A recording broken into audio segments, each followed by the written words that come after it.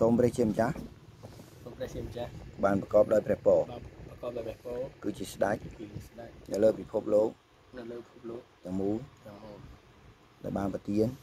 ដែលបានប្រទានអាហារមកផែនដីនេះអាហារផែនដីនេះឲ្យទូបង្គំឲ្យទូគុំទាំងអស់គ្នានេះបានទទួលទានបានប្រទានក្នុងនាមក្នុងនាមព្រះយេស៊ូវព្រះយេស៊ូវជាបុត្រាព្រះអង្គត្រាវអង្គសូមព្រះអង្គសូមព្រះអង្គអត់ទោសបាប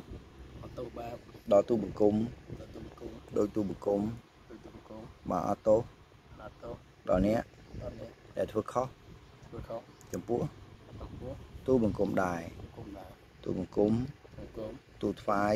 ហើយក្នុងនាមក្នុងនាមព្រះយេស៊ូវព្រះយេស៊ូវជាបុត្រាព្រះអង្គជាត្រាវអង្គអាមែនអា